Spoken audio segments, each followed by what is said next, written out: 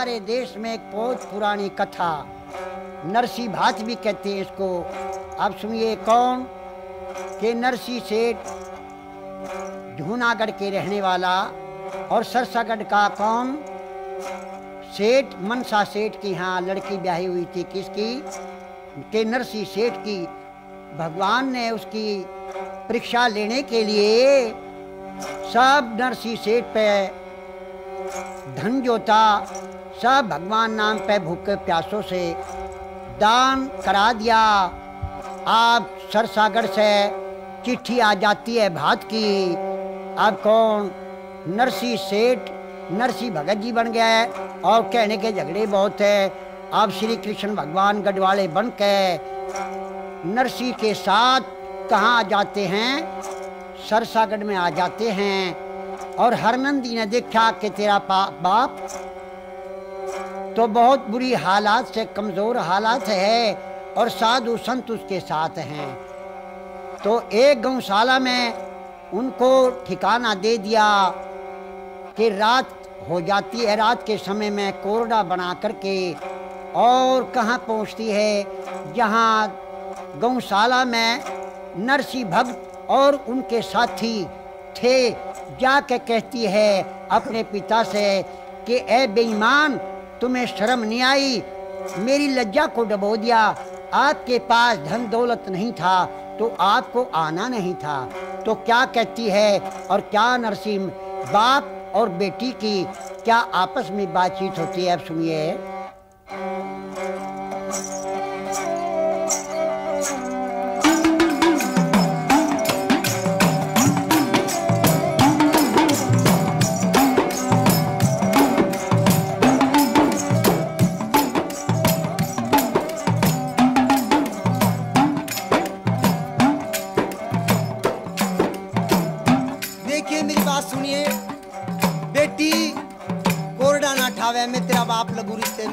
बात सुन ले। और हर नंदी ले रही आत रोक, मेरी री बेटी जुलम कमावे ना। सरसागर से चला जा मने।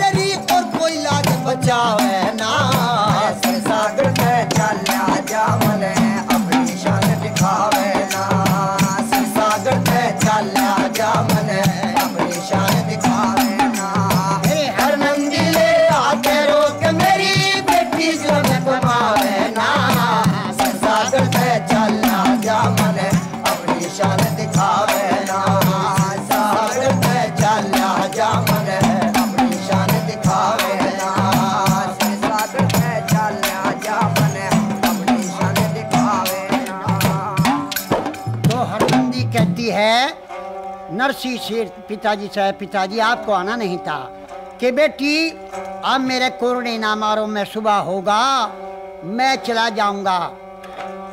अब हरनंदी अपने घर आ जाती है। हम कौन कृष्ण भगवान मारवाड़ी सेठ का रूप बना के और उस गौशाला के ऊपर आकर दुकान लगा के बैठ जाते हैं। सवेरे का टेम होया, नरसी सेठ लोटा पानी का लेके और गेट से बाहर निकले। देखा गेट के ऊपर दुकान लगी हुई है। वही वही सामान जो जो उसके सिमधी सिमधर ने भात का लिखवा के चिट्ठी में भेज रखा था। तो सारा का सारा सामान वही नरसी सेठ सामान देख के गेट के ऊपर खड़े हो जाते हैं। और नरसी सेठ से कृष्ण भगवान कहते हैं, कृष्ण भगवान कहते रे नरसिंह भगत आप ऐसे क्यों खड़े हो? किस चीज़ की इच्छा में हो? तो नरसिंह भगत कहते हैं, महाराज, सेठ जी, इच्छा तो सभी चीज़ की है, परंतु हमारे पास तो एक पैसा भी नहीं। तो श्री कृष्ण भगवान कहते हैं अच्छा एक काम करो, आप उधार ले लो, मैं आपका विश्वास करूँगा। क्यों? कि उनका पहले भगवान के नाम पर दान करा था, उन्हें जमा किया था। क्यों? भगवान भगत के बस में बस में होते आए, इसीलिए उन्हें जमा किया था। पहले उसका महाराज, आप उधार ले लो। और आप, जिस चीज़ की इच्छा है, आप घबराओ नहीं महाराज आपकी सहायता भगवान करने वाले हैं। आप जो चाहिए तो ले लो। महाराज मेरा तो उधार का नहीं मैं तो जंगल में से बथवा लाता हूँ और साग घोटता हूँ खा लेता हूँ। कि अच्छा क्या? कि आप एक काम करें कहीं से एक गाड़ी और दो बलद मांग ले आवे। ऐसी बेटी आपकी और ऐसी मेरी। दोनों रण मिलके सरसागढ़ में हरनंदी के यहाँ भात भर, भरने चलते हैं। तो कृष्ण भगवान नरसिंह सेठ का गढ़वाड़ा बन के सरसागढ़ में हरनंदी के यहाँ भात भरने के लिए जाता है। अब हरनिधि से कह दिया, बेटी, अपनी दुरानी, जिठानी, अगर पड़ोसन और पूरे शहर में आप बुलावा दे दो और जो बेटी मेरी श्रद्धा है, दान श्रद्धा समान ये भात बेटी, मैं आपका दूँगा जो मेरी श्रद्धा है, श्रद्धा के अनुसार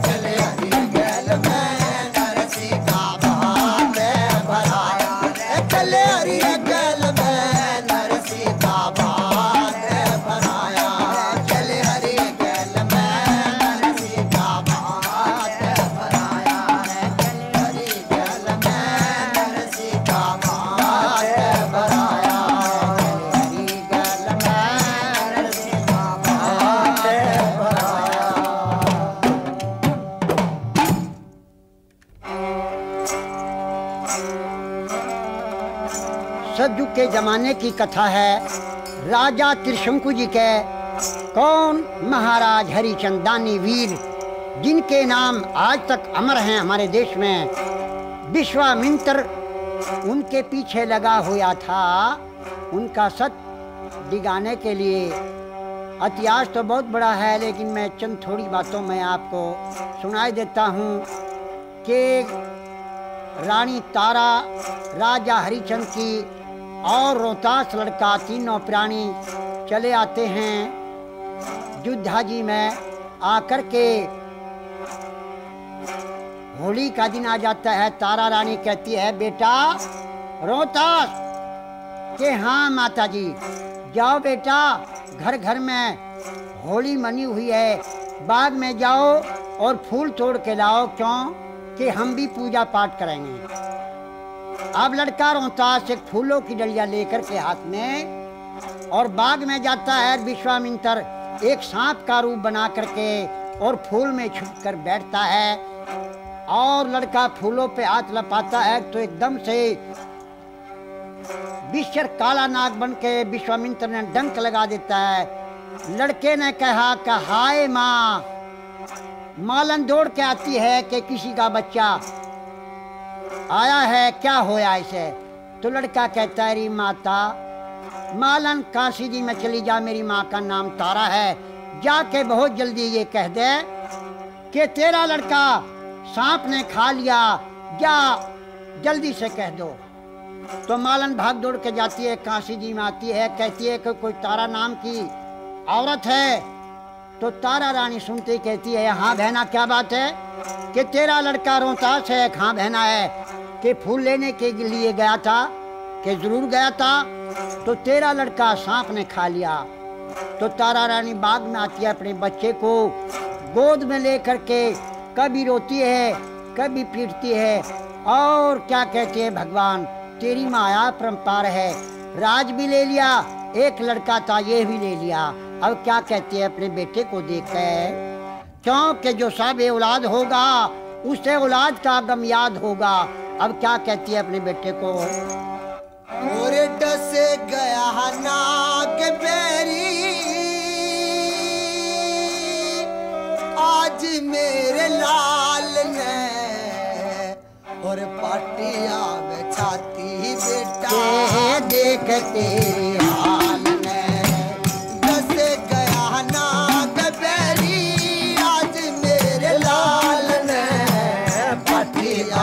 पाटिया में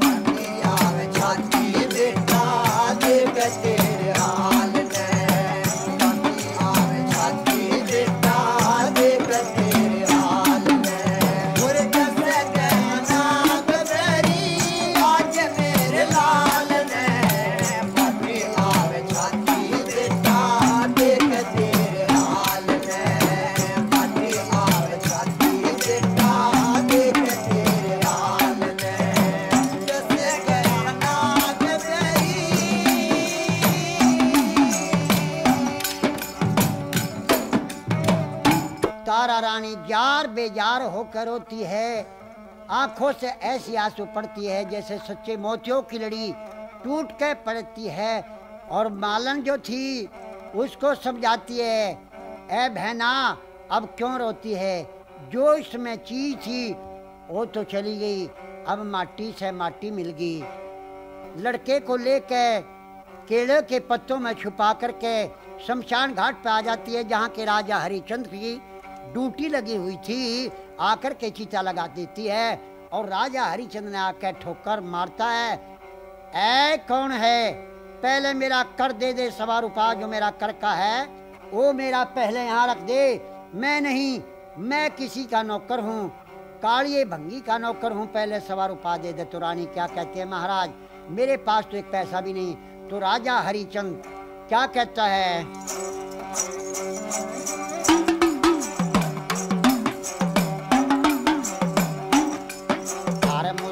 मुरद घाट पे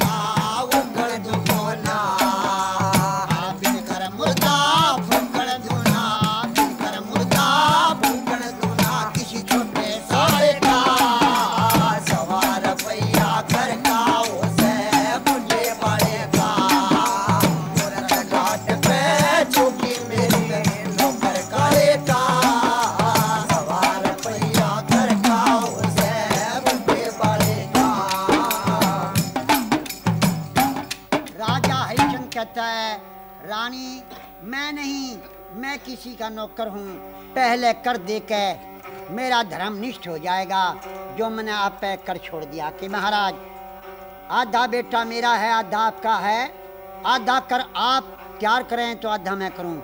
कि नहीं रानी, आपको सारा ही करना पड़ेगा। कि अच्छा महाराज, एक काम करो, मेरे पास पैसा तो नहीं, चार आने में मेरे गल की कंठी ले लें, और महाराज एक रुपए में मेरा आधा चीर ले लें। आप सवा रुपया महाराज, ये कीमत है, आप पूरा कर लें। कि अच्छा ऐसा तो नहीं। लाओ देव गल की कंठी भी दो और चीर भी दो मैं अपने मालिक के पास जाता हूँ। जो मेरा मालिक रजावंद हो गया तो आप लाश फूक लेना। नहीं नहीं। तो चीर लेकर के गल की कंठी लेकर के, कहाँ कालिए के पास पहुँचता है? और कहते हैं, लो महाराज, कालिए ना देखा रे हमारे काशी जी, में हर एक के यहाँ ऐसा कमज़ोर कौन है जिसके पास सवा रुपया भी नहीं पाया कि महाराज एक दुखिया है? उसके पास एक पैसा भी नहीं। और ये मैं सवा रुपये में गल की कंठी और ये चीर लेकर आया कि ऐसा कौन है? अब राजा हरिचंद कहते हैं, महाराज, एक दुखिया है, कौन? एक है रोती छोटी वीर, में जिसका लाया कंठी चीर, बावड़ा। जोड़ के आया।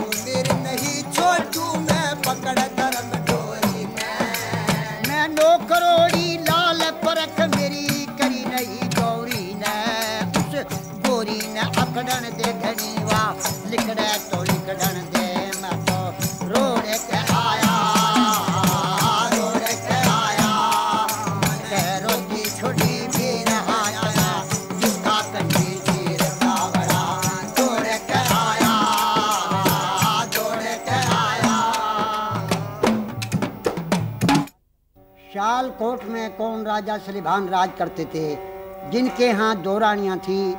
एक का नाम इंछरा दे एक का नाम नौना दे राजा के यहाँ कोई संतान नहीं थी। कौन? गुरु गोरखनाथ चले आते हैं। बारह साल की रानी ने सेवा करी, इंछरा रानी ने, और गुरु गोरखनाथ ने वरदान दे दिया, जा बेटी, तेरे यहाँ एक पुत्र होगा पैदा, नाम पूर्ण भक्त रखना। तो गुरु गोरखनाथ का बाप खाली जाने वाला नहीं था। कुछ दिनों के बाद लड़का कौन हो जाता है? पूर्ण भक्त। भोरे में छोड़ दिया लिखाने पढ़ाने के लिए।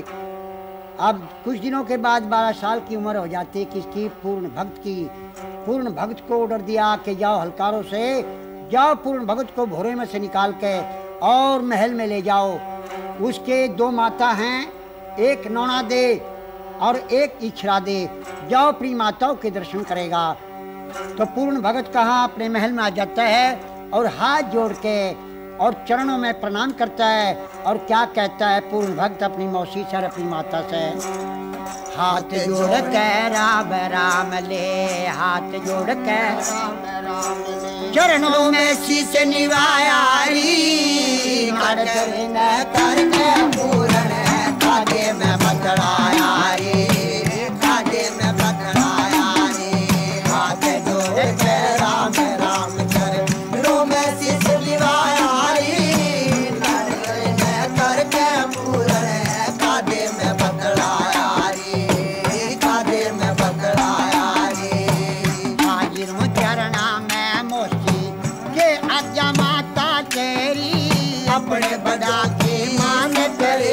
बड़े भाग पाते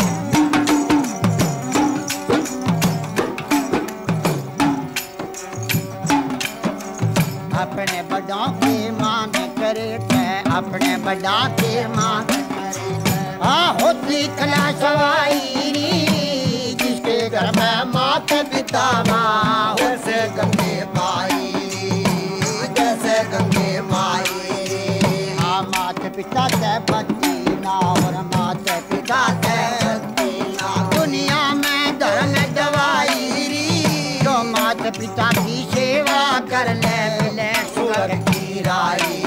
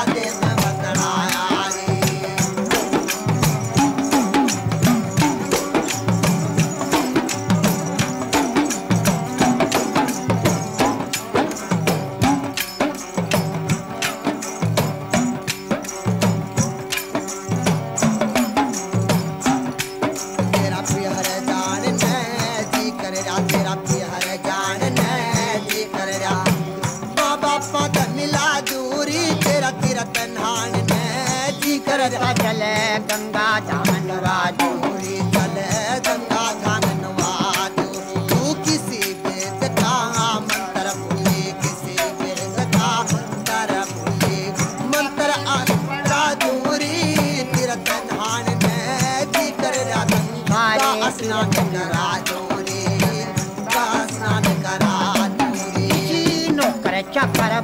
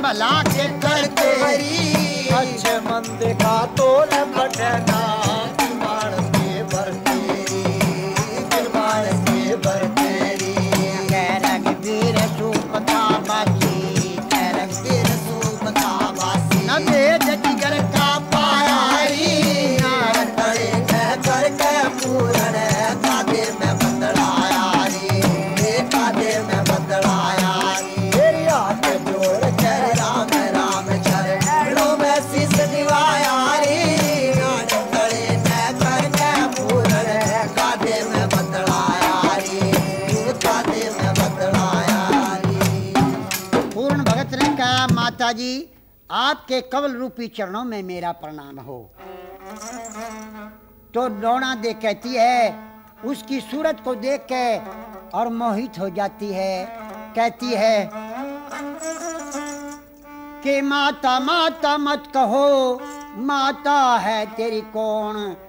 अरे माता तो वाह होती जो पुत्र जन्मे जो। मैं तेरी माता नहीं, क्यों? आप मेरे पति और मैं आपकी पत्नी। तो पूर्ण भगत कहते हैं, माता, ऐसा कभी नहीं हो सकता। ये ज़मीन फट जाएगी, आसमान टूट जाएगा। ऐसा मत बोले, तू मेरी माँ है, मैं तेरा पुत्र हूँ। नौना से कहती है, पूर्ण भक्त, या तो मेरी बात को मान ले, वरना तू ये जान से मरवा दूँगी। माता, जान से मरवा दे या ना मरवा दे, मेरी जान, मेरी है, मैं किसी से उधारी नहीं लाया। लेकिन ये बात आपकी चलने वाली नहीं। है तो पूर्ण भक्त वहाँ से चल देता है। चलती दफ़ा नौना दे रानी ने एक रुमाल उसकी जेब में से निकाल दिया, निकाल लिया।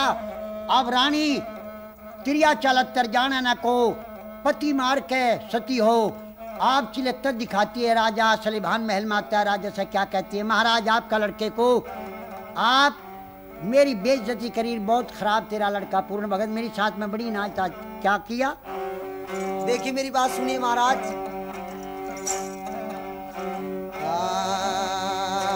ओ तेरा पूरण मल है बदमाश है तेरा पूरण मल बदमाश, दिखे